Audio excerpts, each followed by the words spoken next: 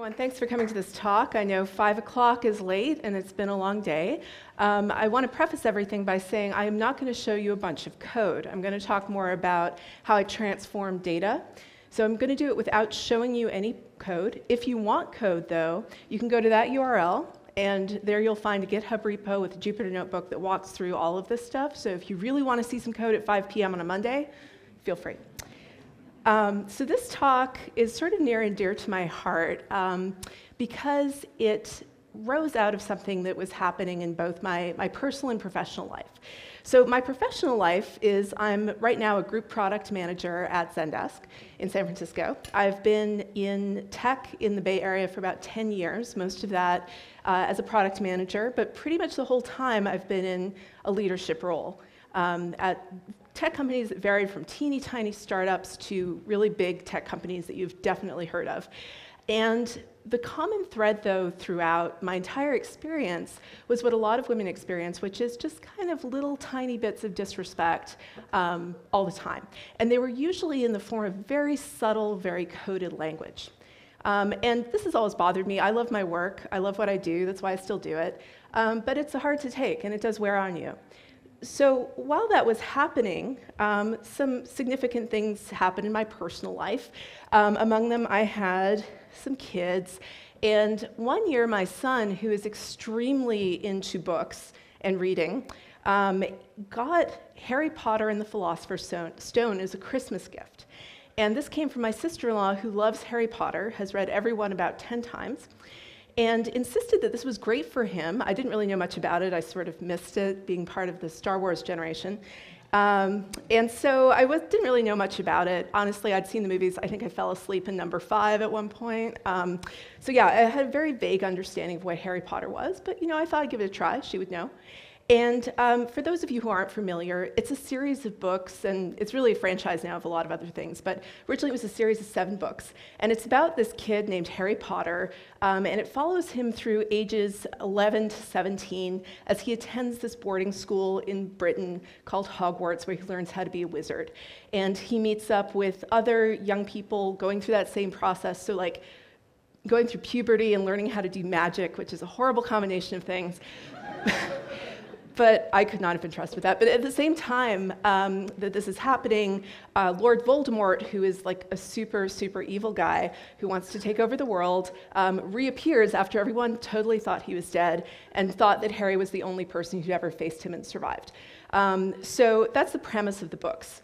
So it sounds a little bit scary for a four year old, but I was like, okay, you know, I guess we can give this a shot. So we started with Philosopher's Stone. And one of the things I noticed about this book, um, which was really interesting, was even though everyone told me about how much I would love Hermione, who's one of Harry's friends, he's got two friends, Ron and Hermione, and they're in all the books. They help him out with stuff all the time. Um, even though Harry's the center, they're really important characters. And one thing that I found very striking about it was I really felt like the books could have been about Hermione because she's the one who's got everything under control. She works really hard at school, she studies, she applies herself. She's really like she's conscientious, she cares about um, other living things to a really large degree. And I found this, this graphic, which I thought really encapsulated how I felt. What if these books were actually about Hermione? Um, my favorite is Hermione makes two useless friends. That was my favorite one. Um, these are great, by the way, if you get a chance to read them all. The slides are online. Um, but one thing that was really unfortunate to me, and this is where my personal and professional sort of situations sort of collided, wasn't how Hermione was described. So the title of this talk is A Bossy Sort of Voice, and that's taken from the very first time Hermione is introduced by J.K. Rowling, who's the writer of the Harry Potter series. She had a bossy sort of voice before she's even named. And to me, that really kind of cut because growing up in the 80s and 90s, being called bossy was not a good thing, and it was almost always applied to girls and frequently to me. Um, so that kind of hurt. And um, as I read it more, these are just two examples I could sort of think of off the top of my head. I kept seeing these things like bossy know it all, shrill voice to describe women and girls. So that was kind of a letdown because I really wanted to read this to my son to get him thinking about strong female characters and characters who didn't look like him generally. So I decided to investigate this and try to turn it into a conference talk. I'd like to say that even though I was part of the Star Wars generation, I was not unaware of how popular the series was. So when I would tell people as I did this project, I'm doing a conference talk about sexism in Harry Potter, um, the reaction was pretty much this every single time, like, how dare you? Um, uh, so that was a little bit disconcerting to anger the Harry Potter fan group. Um, but this wasn't just me, other people have noticed this too.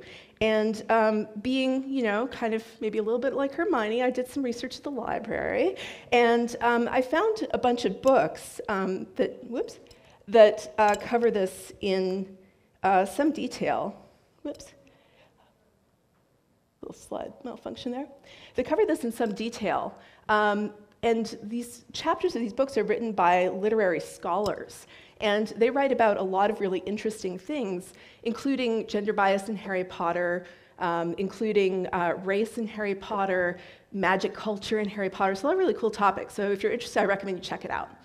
Um, but one thing I noticed is they approach it all always very much like literary scholars do, which is talking about specific situations, talking about um, how those situations are woven into a bigger fabric. And that makes a ton of sense. But one thing that I didn't really see much of was really analyzing the language that Rowling used to describe the female characters.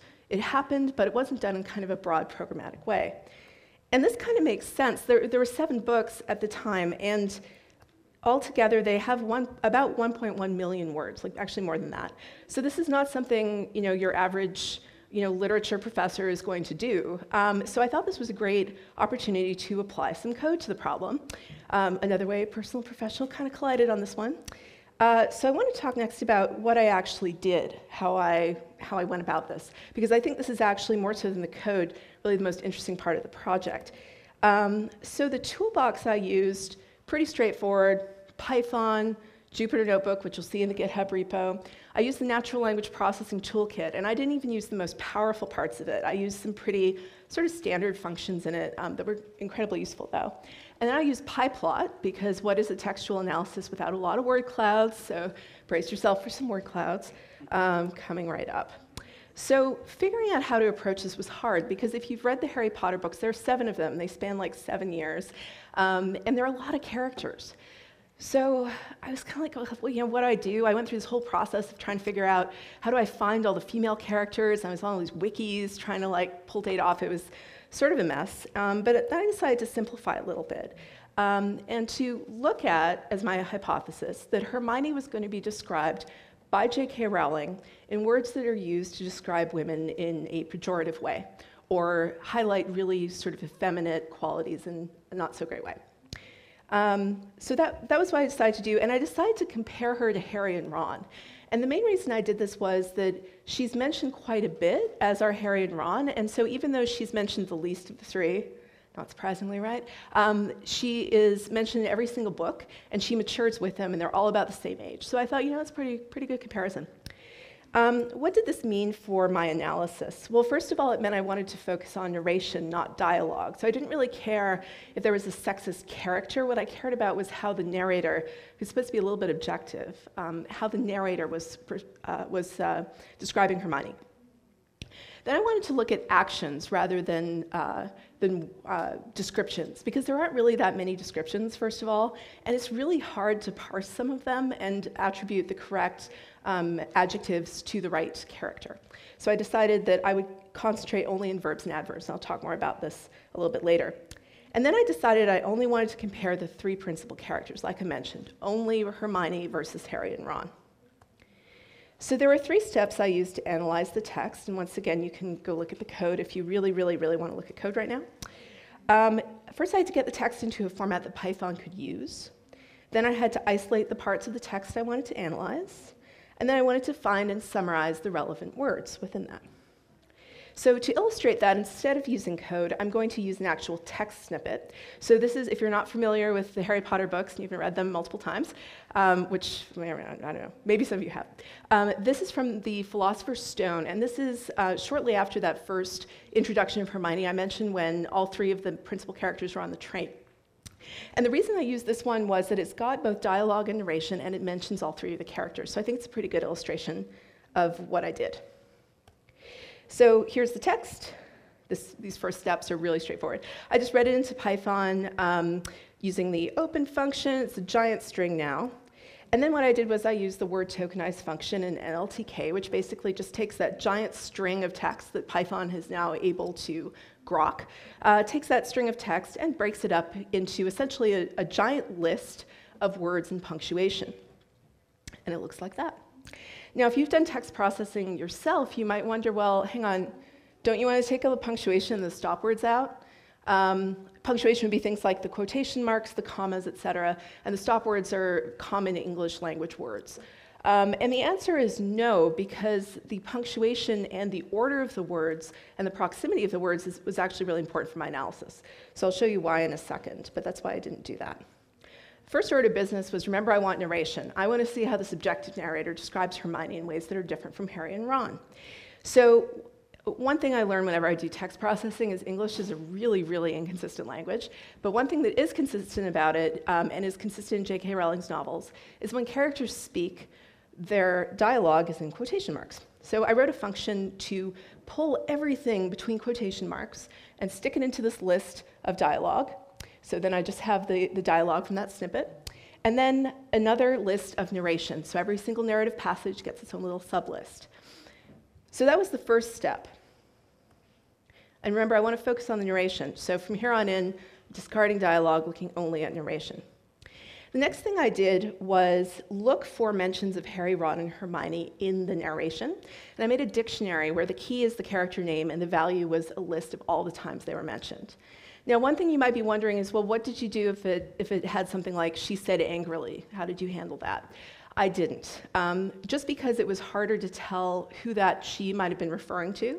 So what I decided to do was just get rid of that and only use the instances where I was really, really sure that those words applied to that protagonist. So just to be extra, extra sure.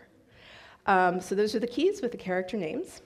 So then what I did was I used the position tag function in NLTK to uh, identify the part of speech that each word represented.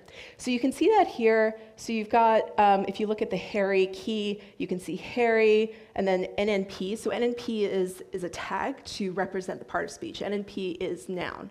And then you've got looked, which is a verb, um, so, and so on. So this basically let me isolate the important nouns and the verbs um, and adverbs around them, which again is what I wanted to look at. So this is a little bit of a sidebar, but this was a really important part of the project, and I think another reason why, um, why the process was kind of more interesting than the, than the code in a lot of ways. So I had to look at patterns in language in order to find the right words, right? So there are a few patterns that J.K. Rowling and most novelists use in putting verbs and adverbs around character names. So one of them is verb noun, yelled Harry, right? Another one is verb noun adverb, so said Harry happily. Another one is noun verb, Harry saw. Another one is noun adverb verb. This is actually harder than it might sound. Um, and like Harry whispered softly. So those are the patterns that I've, I found, um, and that makes sense. They're very common patterns in English.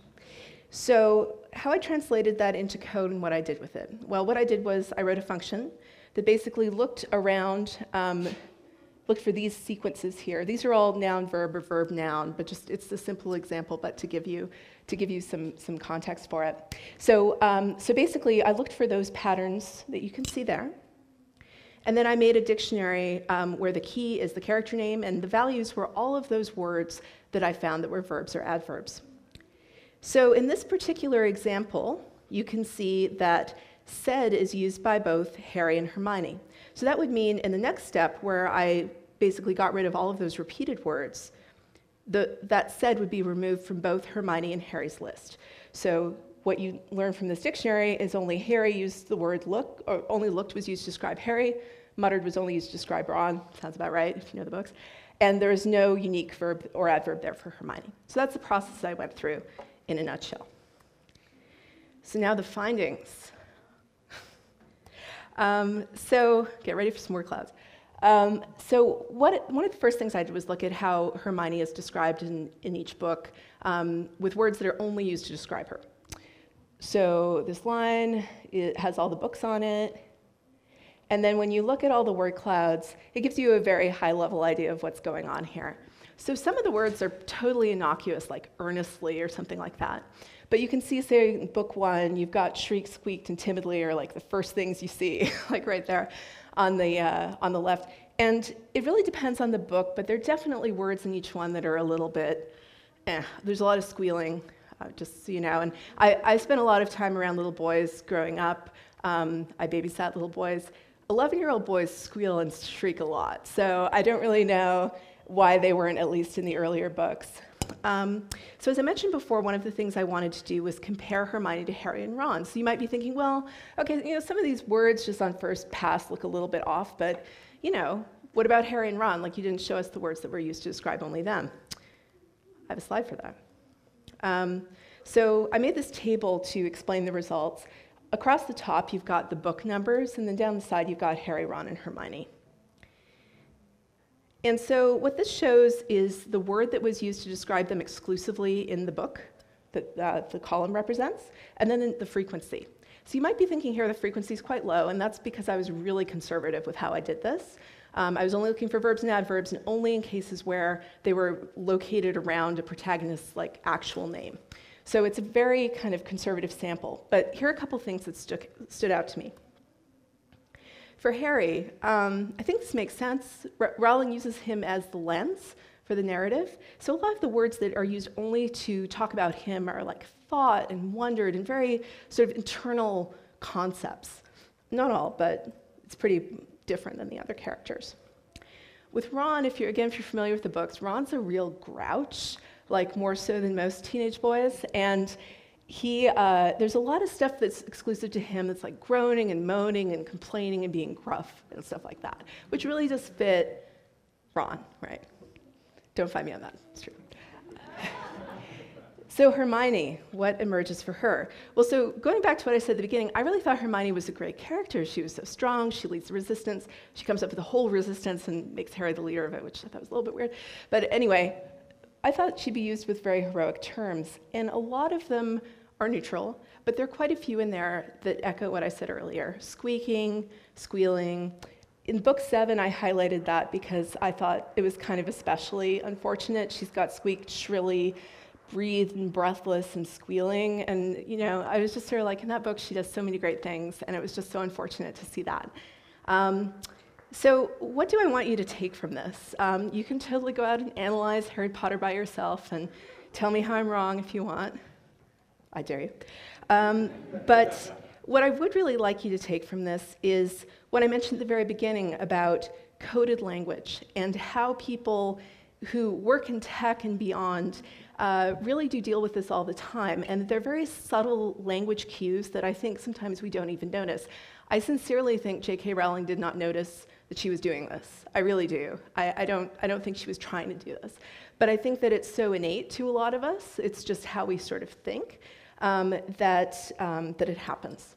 And so, what I would ask is that you look for words like the ones on the screen um, to describe women and people of color, um, people based on, on their, their sexual preference, and just be critical of them and really be thoughtful when you're, when you're consuming media, especially media that you love. Um, things like Harry Potter, which I know a lot of people love, but it's not perfect. And I think we need to kind of keep that in mind, especially when we're, we're reading it to our kids. I definitely do. so um, thank you for coming to this talk. I really do appreciate once again that you stay till 5 p.m. Uh, that's really awesome. Um, I do a lot of projects around literature and trying to use programming to understand literature better.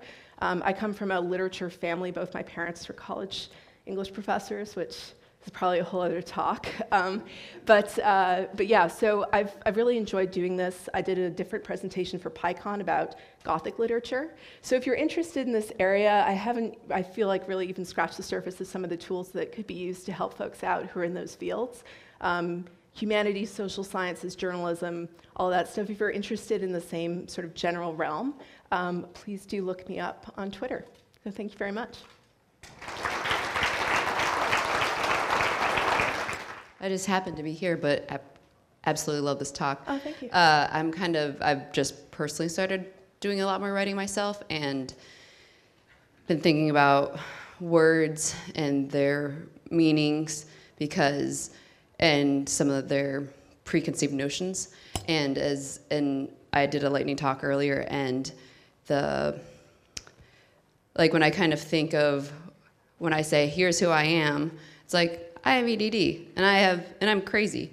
These are two words that were like crazy is such a ha- been a word that's like stigma, and there's been mental disorders in my family that have been labeled things, and they're you know they have preconceived notions as being bad, and where it's like now I just see these words as they describe me, but I've changed their definition to me. Mm-hmm. So where I'm like, hey, I'm crazy, but I'm accepting of that, mm-hmm. and I use it to do crazy awesome things. Mm-hmm. And my ADD means that I don't really feel like doing that right now, so I'm going to do what I feel like doing, and it charges me up and it lets me do something else. Like all of a sudden, when I procrastinated one time at work, I don't know, my boss is in here. Um, I was writing, got the flow, just purged out this stuff in like half an hour as fast as I could type, just type it away. Before I knew it, then I was like got into work and got got onto my well, I was at work, but I was then doing my work work and I was in the flow and helped me continue that flow into my work. And and so these are just sorry, this is a long question. Sorry. All right. So words, preconceived notions, and how they change in through time and our definition of things through time and our culture, since society has preconceived notions of those words. So mm-hmm. answer how you that whatever you want. well, so that's interesting. So thanks for calling out the the health and and ableism generally. I think that's an important one too. Um, so, so yeah, so I think that one, one bit of pushback, I guess, that I've had on this was that um, a few years back, maybe three years ago, there was this campaign to sort of reclaim bossy as a term. Um, and so I think you could maybe look at that lens, but I think what's really important, one thing I've learned doing this, this type of work, like looking at different literature from different eras, is you do have to put the lens of the, the time that it was written on it a little bit. So even though bossy may not feel pejorative to somebody now, um, yeah, exactly. Um, yeah, even if it's reclaimed, it, in the context of the time, it wasn't meant as a compliment. Um, so that I think that that's that's really important. But I do also think, I mean, there's nothing inherently bad about squealing. It's just the way that the context in which that word exists is so negative. So first of all, awesome talk. This Thank was you. extremely cool, and I dug it.